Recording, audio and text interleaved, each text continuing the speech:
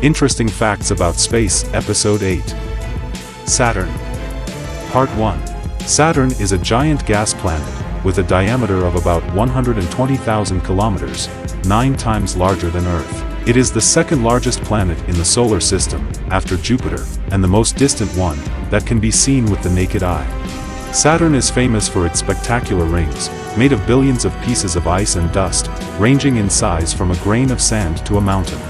The rings orbit the planet at different speeds, creating complex patterns and gaps.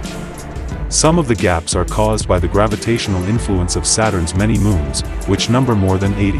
The largest and most well-known moon is Titan, which is bigger than Mercury and has a thick atmosphere and lakes of liquid methane. Saturn is also home to Enceladus, a moon that spews water and organic molecules from its icy surface.